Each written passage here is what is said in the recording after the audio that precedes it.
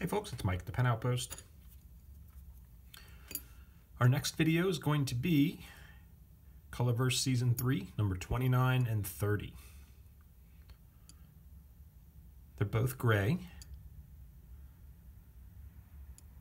And, well, I'll just let them speak for themselves.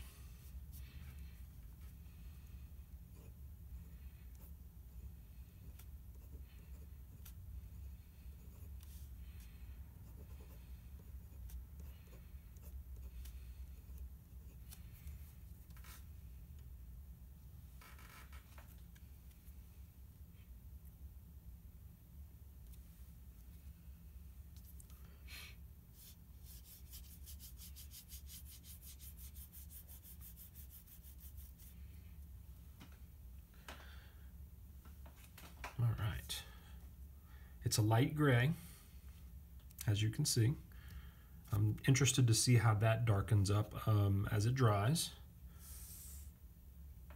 But just by looking at the labels, you know, one gray appears to have a greenish hue to it and the other one is more of a standard gray, but we'll see how they compare after we're done. Uh, I'm just interested. This is the first time I've seen this one out of the bottle.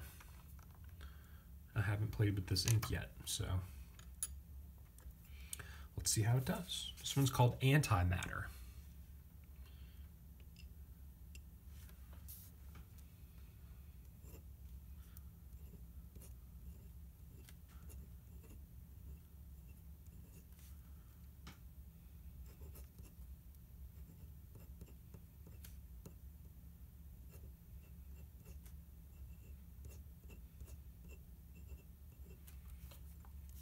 Definitely has a, a blue undertone.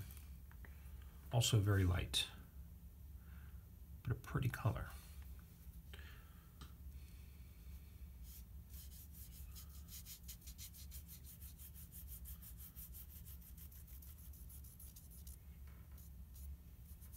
Hmm. Definitely got some blue in it.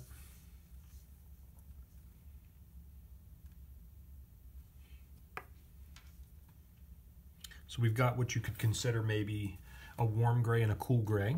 Although this is not super warm, but you can see, you see how that's drying? I'm gonna let this dry all the way because you can see some color coming out. There's some pinks and some reds coming out up, here in this in this shading area, and it might even bring a sheen. I'm not sure, but we'll we'll go ahead and let this dry, and um, we'll take another look in a couple minutes.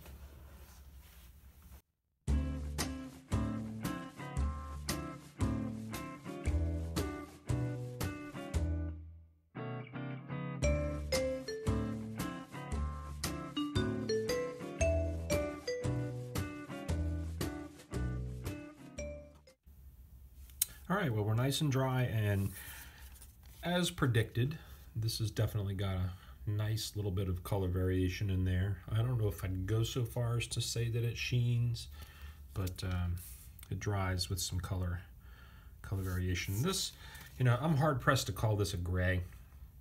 It is a very, very cool gray and a very, very light blue. So um, it shows up as a gray in the on the label, but that's a little misleading, I believe. I'm gonna go ahead and call that a blue. I'm gonna have to go check the website and see how we categorize that, but it, it may fall into both. I mean, when you put it next to a blue, it's definitely not super bright like a blue, but draw your own conclusion. We may categorize it as both. If you're searching for it, search for gray and search for under blues. It may show up under both, so there you go. Number 29, Matter. Number 30, Antimatter.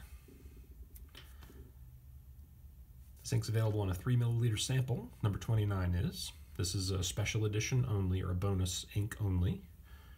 And an 80 milliliter set, 65 and 15, at the Pen Outpost on eBay and thepenoutpost.com. Thanks for watching.